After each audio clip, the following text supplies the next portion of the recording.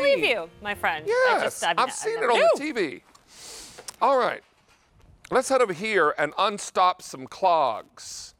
Let's talk about a slow draining shower, tub, bathroom sink. Maybe it's a toilet. Because if you've got a tub shower, is there anything more frustrating than standing in ankle deep, soapy, dirty water when, after you've showered? Gross. Then you have to end up rinsing your feet off before you can go get dressed because you've been standing in your own yuck, right? So, what we're going to do is talk about a product called Green Gobbler. And I know this product very well because I use it in my home. I use it because it is safe, effective, and simple. Oh, and P.S. and by the way, affordable. We want to welcome Amy D'Angelo. Amy is a home environment specialist. She is also a problem solution specialist. Good to see you. Oh, I'll take that smooch. Thank you. So this is very, very nice. A great product. First of all, tell us about Green Gobbler and where it comes from. So Green Gobbler originally sold in 50 gallon drums to city sewers, uh, schools, hospitals, cruise ships. So they've got this process down pat.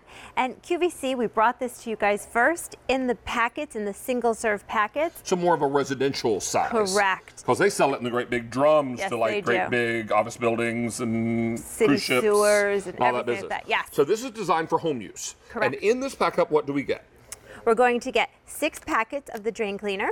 You're going to get two drain sticks, and you're going to get a thing of the BioFlow, which are our enzyme sticks that you can just drop in after you've cleaned it to make sure you don't get any odor and to keep that grease from building up. Yeah, this is this is basically to keep stuff from gunking up on the inside of your pipes after you clean cleaned them. Correct. Yeah, so it's kind of a preventive going forward. Yes. Okay, so you get all of this for $21.25. If you were hoping for Easy Pay today, well, guess what? We've got two of them. Any card you use, and that goes away end of day today. Want to put it on your Q card? You can have four pay.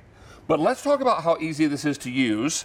And we've got a sink here that has, I'm guessing, a little drain issue. Yes. Drain issue. So we've got some solidified starch. And, we have and before you go forward, forgive me for interrupting.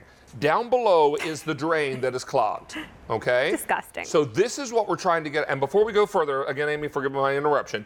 What is in there? What did you what did you simulate this clog with? So there's solidified starch in there, there's grease, there's paper, there's hair, there's cereal. Everything that's behind your wall that you're unaware is building up and clogging your drains. One word I can use to describe all that: yuck. Yuck. Yuck. Yeah. Okay, now, how do I use Green Gobbler to get rid of that? It's so simple. You're just going to tear the top of one of your packets off. Okay. Very simple. And you're going to pour it down your drain. So it's a granule. It's kind of a granulated powder, is it? Mm-hmm. And it's pre-measured. You don't have to do anything. So the whole pouch goes in. The whole pouch goes in. And then what? Then you're just going to take hot water and you're going to activate that mess and that disgustingness.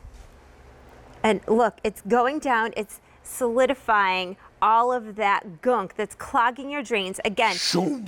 behind the pipe, behind the wall that you're not aware is happening. I think you mean it's emulsifying, right? Yes. Emulsifying, yeah. So Yeah. all that solidified yuck is now being broken up. away. Yeah, being Yes. broken up, exactly. And it's cleaning the pipe as it goes down. So it's not leaving any residue so that there's nothing for it to build up on. now, if there's standing water in your sink, which is probably going to be the case for most people, Yes. pour it right through the standing water. It'll find its way to the clog. And when it gets there, it's going to start churning all that away.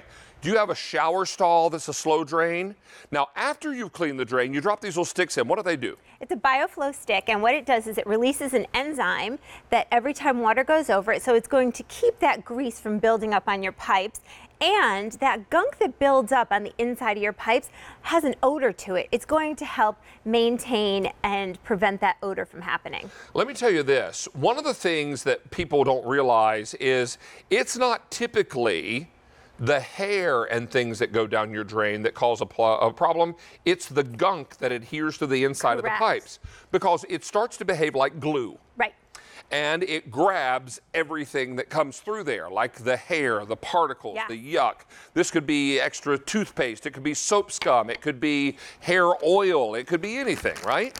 So as solids go down there, they get trapped in all that yuck, that sticky yuck. And then when it's when it closes up, that's when your clog happens. Right, and- Over 1,000 sets are gone now. This is designed to break up all the yuck and clean the inside of the pipes and keep them clean with those little sticks. Correct. And the only difference between a sink clog and a toilet clog is you're going to use two packets. And you're going to just, again, same thing, pour it in, and then you're going to activate that with your hot water, Now, hot as you can as you the can get. it, hottest you can get. And then you're just going to flush that away. And you're going to see it just break up all of that gunk that's clogging your pipes. And again, David, this is happening inside your wall that you're not seeing or happen. inside the floor. I mean, I've seen them replace a toilet before in my house. There's a pipe that goes straight down from underneath the toilet bowl. It goes, I don't know where it goes. I'd rather not know, to tell you the truth. Um, this is amazing. Now, what we're going to do is, again, show you how easily this works. And again, Right. before we start, 2,000 are gone. What did you clog the, pli- the pipes with? These are solidified starches, hair, paper, grease, cereal, everything that clogs your sink and your toilet and your shower and all that stuff that just builds up. And again, you're just going to activate it with some hot water, As hot as you can get hottest it. you can get, and you're going to pour it down. And again, it's one of these things that you want to come back a half an hour later and just flush it through with some hot water, and now, you'll do we see want to that leave it it goes sit right for through. a while? You can let it sit. You can let it, you know, uh, you want to leave it at least 15 to 30 minutes. That's my question. Yes, yes. Because you don't want to start flushing right away, Nope. or uh, and sometimes you don't see um, a release right away because what it's doing is it's emulsifying. Right. It's getting in there, and, and that hot water is reacting with the uh, green gobbler and David, look, to it's gobble up the clog. just liquefying everything in there and it's going away. As we're standing here watching, it's pushing that clog out. And again, if you don't have time to flush this through a half an hour later, Watch this bowl. don't worry, you can leave it and flush it through when you get home. And if you happen to have a really nasty, nasty clog, you can give it a second treatment. Yeah, if you've got a long-standing clog, you might need to do uh, a little extra hot water, or Yes. it may need to sit a little longer. Correct. So please know that on this fresher clog, this is going to act more quickly. Yes. Maybe on an older one at your home, you may have to wait a little longer, but that's okay. Green Gobbler is doing its job. Amy, as we wrap up, how many are gone now, Sean? Over 3,000 are gone. It's great to see you. Nice to see Thank you, you so much for being here. Now, I'm going to let you know that we've got, I wanted to update you on the, um, the buttercream bite.